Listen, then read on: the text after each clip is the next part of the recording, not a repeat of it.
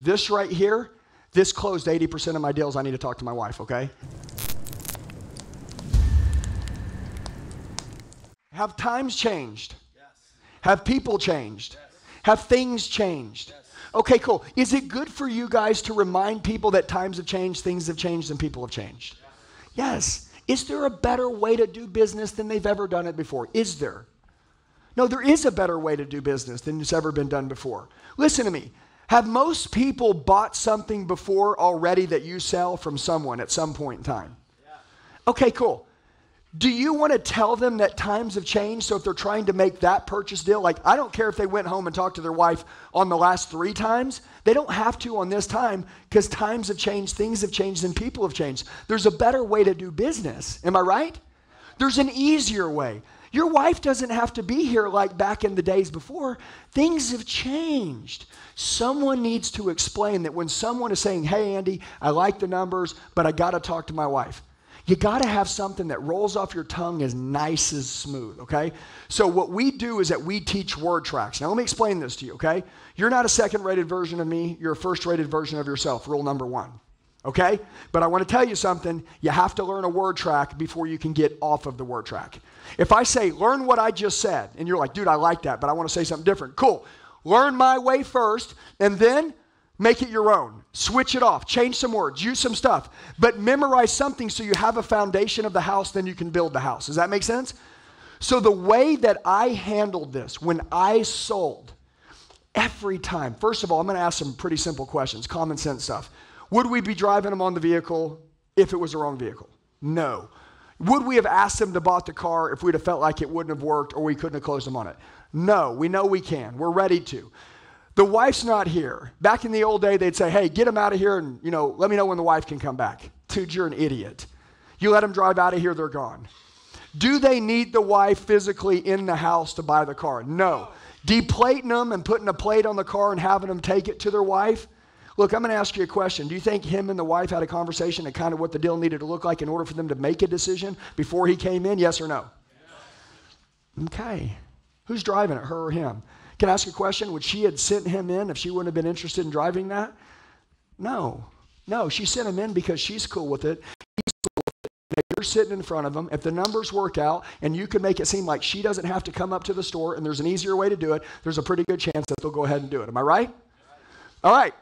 Everything will determine the way you speak, the way you talk, and the way the words come out of your mouth. Now, listen to me. There's, th- there's different types of salespeople. You got order takers and tour guides. You know who they are, right? Yeah, they hand out business cards, walk around the lot all day long. They, don't, they can't sell shit. You got salesmen, okay? Get out of that stage as fast as possible if that's you. Get out. Okay, you got salespeople. What are salespeople? Salespeople, they can sell. They know the product, they know what you have, they walk around, they can display stuff, they show products, they give information, but they can't close a screen door. It's just the truth. Okay? Then you got closers. Closers can close, but they don't close for all the money. Okay, that's that guy that comes in. He's like, um, he's like, hey man, I closed that deal. You're like, dude, cool man. You closed him at the 6.99. Ah man, I got him at the 5.25, but I closed it up. Okay, cool. So you negotiated down and you closed it and you gave up profit. And then there's master closers. Master closers close anybody, anytime, any place, anywhere. It doesn't matter. Once I put my arms around you, it's done. You're going to do what I want you to do. We're going to become best friends. We're going to make a connection. I don't do things transactionally, I do things relationally. What does that mean? That means when I come in right away, and, and by the way, being the salespeople in this room, listen to me. The fact that he's a manager and then he sells, you should be 10 times better than him. You know why? Dude, because he pencils deals all day long. He buys cars, he bids trade, he submits stuff. He doesn't sell cars anymore. He's in the leadership. And now, me as a leader, I'm going to tell you this, right? I'm a, I'm a, I'm an alpha, alpha leader. I still want to be able to do my job at what I used to do with selling better than my guys who are selling's job. Does that make sense? Do you know why? Because I want them to look up to me. Okay? You want to have an unrecruitable team. Unrecruitable to me is everything. What does that mean? That means you're unrecruitable. You can't be recruited, okay? Number one is you're growing to build your team and you're leading them. Well, you need to be the best. Why? Because when your team's like, man, I want to look up to someone who's the best. Who guess who they're looking up to? Me. Okay? I want to be the source of power for my team. Okay? So every day I'm sharpening the sword for me to be great at something that I'm not even doing just to show my team that I can do it unbelievable. And guess what? I want them to chase me. I want them to chase me.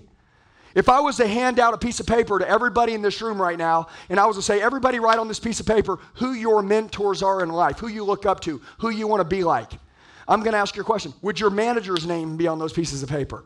There's a good, a lot of you be like, dude, my manager's name wouldn't be on that. Okay, he's not inspiring you, he's not motivating you, he's not leading you to be the best. So he can change right now in this room, but he's going to have to start working on himself. But watch this salespeople, you should be better closers than your managers. It's your responsibility. There's nothing stronger than having re- trust and rapport in a car, in any deal. In any deal. Who should have the trust and rapport? The sales pro. Am I right? Well, guess what? A closer that walks in on the last 30 seconds is like, hey, give me that sheet. Let me go close that deal. Do you have trust and rapport? No, you don't have it. You just got the sheet 30 seconds ago.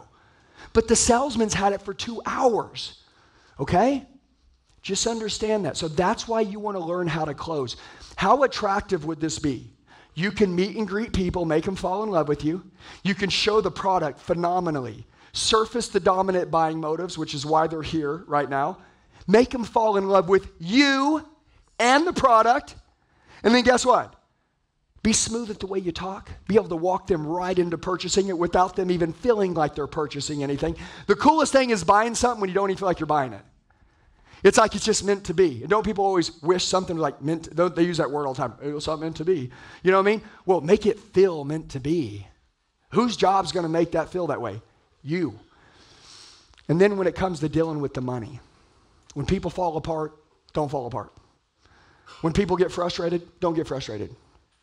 When people are having trouble, don't have trouble. When people are feeling uncertain, be the certainty they need to look for. Oh, you need some certainty? Cool, got some right here, buddy. Let's go ahead and keep doing this deal. Are you letting them borrow the courage to pull the trigger, or do you look a little bit scared too? Listen to me. This right here is where we win. Okay? 90% of the time, you're outside building value, making sure somebody falls in love with you, whatever. The last 10% of the time you're inside, you're collecting 100% of the money. I see so many people crack, fall, and snap inside because they don't train. So, I want to teach you a word track that I used. It was really good. I'll grab one of my coaches. I teach my coaches. My coaches to work for me, they have to know these things. Why? Because they're products of the product. Does that make sense? Okay, let's grab one of the young ones. Uh, hey, let's grab this little young buck. This kid right here is 21 years old. I'm gonna call him a kid, but he's a man. He started with me when he was 19 years old. Guess what happens? Who in here has been through some life? Raise your hand. Cool. Guy, his dad got killed in front of him and uh, murdered when he was 10 years old. Dude, the guy wants to have a good life. He's surrounded by people. He found himself a car lot. I did. I was lost. Guess what? man, I started. I realized that I probably didn't have a lot of mentors around me. Guess what?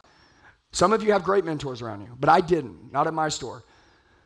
He gets on YouTube, he finds me, shoots a text message. Kid says, Dude, you know what? I've got freaking $1,800 in my account. Where are you at? I was in Oklahoma. He flies out. Guess what? Comes to a seminar, buys a couple courses, start training. 30 days, 60 days, 90 days later, he's working for Landers, making 25 grand a month. Isn't it crazy how fast life can change? You know why I love sales? But you know why I love sales? Because you can get the life that you want now. Xander, you don't have to wait to triple your financials for a year. You can do it now. You don't have to wait to double the sales in your store. You can do it now. Nobody has to wait. Do you guys get me? I'm impatient. I like fast wins. I like fast wins. And the harder you train, the more pressure you put on yourself, the faster you get there. But I would train this young man on objections just like this. And then over time, it meant more in him to help other people make money than it did for him to make money. And see, that's real leadership. Okay? Me and my wife, we run our company like our guys that work for us are our children. And not that we're their kids, they're full grown men. But we want the best for our kids. Does that make sense? If a parent, have you ever seen a parent be like, I want a lot of money and I don't want my kids to have anything? No, they want their kids to have everything. As a matter of fact, they're willing to die for their children. That's the way we view our team. We would rather be broke and see our team rich and happy. Does that make sense? It makes us fulfilled. So the guy was willing to give up his money, come into our company, and literally build his way up. But still to this point, even though they don't sell, every day we deal with salespeople in all fields. They have to remember everything that they learned from the beginning because the second you get off the front line, you're finished. Okay? So let's hit this young buck with the little objection, and I want you to listen to his words. Number one, I want you to listen to his words. Number two, I want you to listen, does he believe? That's probably the biggest thing, right? Does he believe? Okay? I'm letting him go last. So, like, you've had the opportunity to talk, you've had the opportunity, you've had the opportunity, you've had the opportunity, right? It's really simple. Look at the way you talk, look at your words, look at the way you believe, guys. Look, I'm going to tell you this. You want people to have a good time? You want people to buy and enjoy the buying experience? Have a good time. Guys, when I used to talk to people, I'm just telling you, when I was selling a man, I would get knee to knee. I'd put my hand right there with the man. I'd be laughing. They're getting stressed out about the money. I'm laughing, right? Why? Why? Because I we ain't going that way. We ain't going that direction. You ain't going to get all serious. Once you get serious, I'm, I can't. You can't do. You can't save a deal when people get too serious. There's something in somebody's heart when it gets cold. Nobody can close a cold customer. Don't ever let their hearts get cold. Okay? Listen to me. Whose job is it to protect the state? It's yours. Some of you, you're like, Andy, look, this is the Master Closer seminar. It's real simple. You want to sit across from somebody, you want to make them feel great? Good. Talk to them like you want them to feel great. Does that make sense? And make your words flow smooth like water so you know what you want to say, okay? So, Jacob, it's pretty simple. We're on the negotiation table, price trade payments, right? And you can just talk to the crowd. You don't have to look at me. Um, I'm going to say, hey, I appreciate you, Jacob. I like the numbers, but I want to talk to my wife. Now, do they like the car? Yes. Yeah? Because you wouldn't be this far without it. Okay? Genuinely, did they probably have a conversation what the deal needed to look like in order to make a decision? Yes, most times they did. They, they're not going to tell you they did, but they did. Does that make sense? Okay, all right, so let's roll. Ready? Go. Hey, Andy, I totally understand. As busy as life is for most people, when it comes to purchasing a vehicle, especially with a family, it's generally a planned event. When you left your driveway this morning, I'm almost certain that you and your wife had a conversation on what the deal needed to look like in order for you to feel completely comfortable making a decision. You said you love the vehicle, that you'd be extremely happy with the safety and the fuel economy, and we're well within your budget. So, Andy, let me ask you a question. If I could save your wife the trouble of having to come all the way down to the dealership, plus save her the time of having to sit through the entire process, and you could be the hero that takes all of the headache out of the deal. Would that upset your wife in any way? In any way at all, if I can do that for you? Would it? Thank goodness. That's it. It's very simple. It's very simple. Now, listen, watch this. Does he know what he wants to say? Okay, watch this. What did I say earlier? I said be machine like. Am I right? Okay, we're going to start moving through objections faster, but I want you to understand what machine like looks like, okay? All right, you ready? All right, I need to talk to my wife. Go. Go fast. I totally understand. As busy as life is for most people, when it comes to purchasing a vehicle, especially with the family, it's generally a planned event. When you left your driveway this morning, I'm almost certain that you and your wife had a conversation on what the deal needed to look like in order for you to feel completely comfortable making a decision. You said you love the vehicle, that you'd be extremely happy with the safety and the fuel economy, and we're well within your budget. So, Andy, let me ask you a question. If I could save your wife the trouble of having to come all the way down to the dealership, plus save her the time of having to sit through the entire process, and you could be the hero that takes all of the headache out of the deal, would that upset your wife in any way, in any way at all? And he takes his hand and he sticks it in their chest, okay? Listen to me. I want to explain something to you. This right here, this closed 80% of my deals. I need to talk to my wife, okay? 80% of it. Look, nothing's 10 for 10, okay? Look, I have the delusional belief you can close 10 for 10. You need to have the delusional belief you can close 10 for 10, but you need to have something on your heart. My deal is if I grabbed all you guys right now and I said, hey, I need to talk to my wife, go. Do you know what you're going to say? Do you know? If you don't know, you need to know right now. So write down on your piece of paper, I need to talk to my wife.